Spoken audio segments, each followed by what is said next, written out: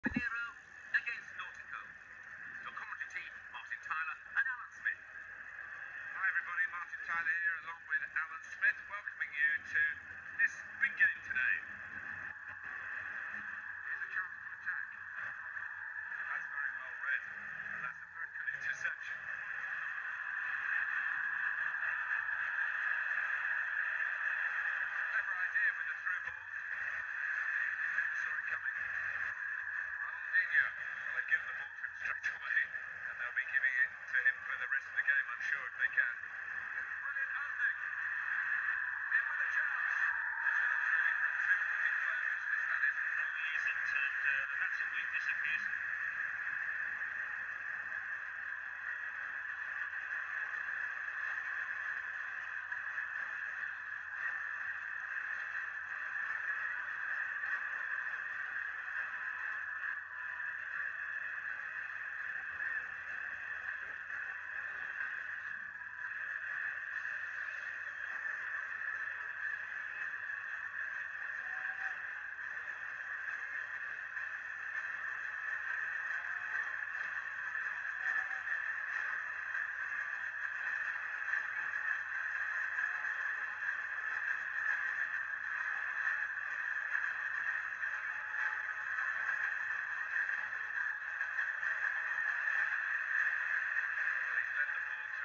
He's got it back again.